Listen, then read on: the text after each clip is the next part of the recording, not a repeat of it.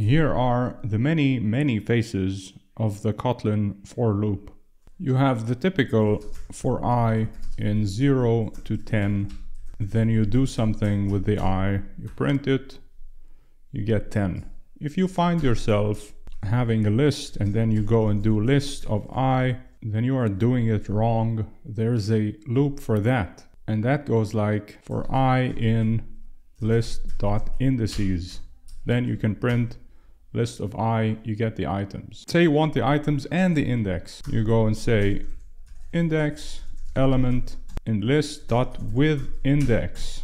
Now you can do index and element 0, 1, 2, 3.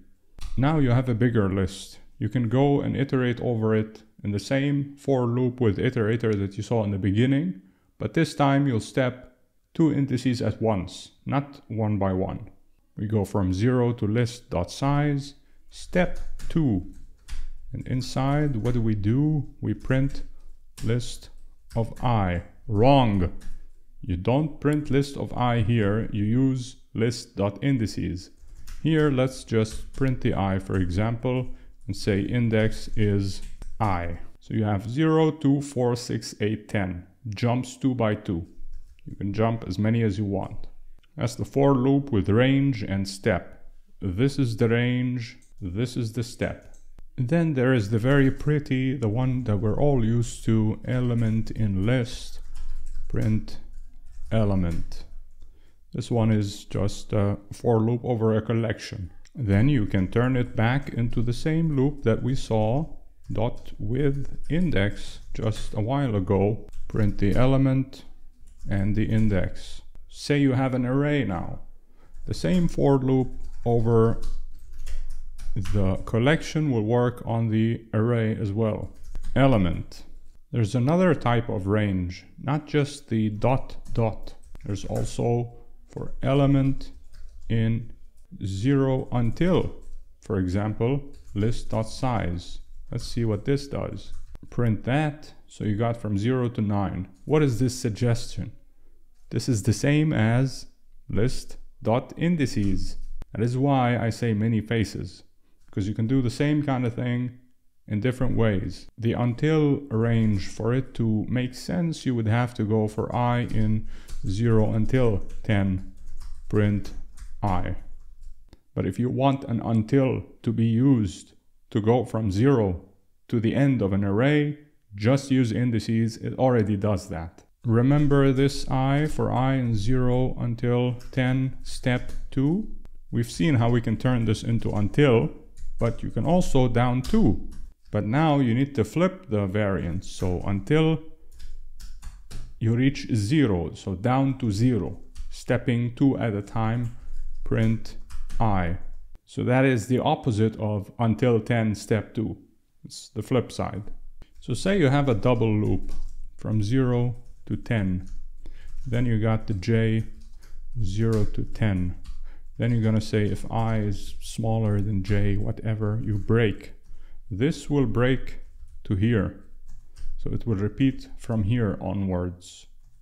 If you want to break to outside, break entirely, you label this loop with something. Break at loop. You can call it my loop, no problem you can break to here. It shouldn't be capital. Okay, you get the point.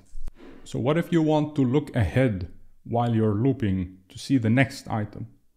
This doesn't have a special loop associated with it, but here's the technique anyway.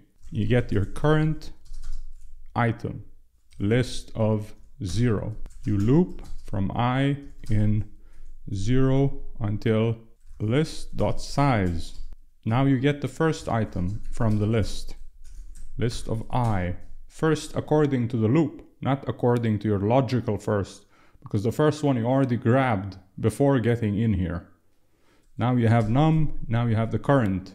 So you're holding one item and you're looking ahead to the other. If the number is equal to current or whatever you want to do with it, then you do the replacement where current is now equal to the num.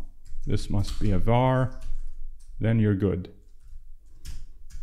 So we're gonna print current is current, ahead is num.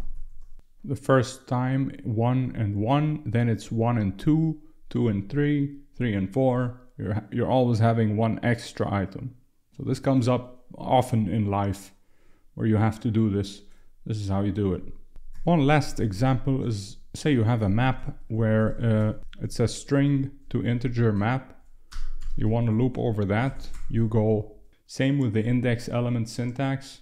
You do key value in map.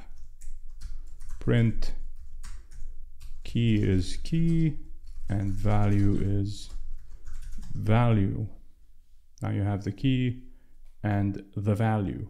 That is everything for how you can loop with Kotlin. It's a lot and it bugged me that there's so many of them. So I wanted to make a video for me, myself, and you, of course, so we can all benefit and live long and be happy.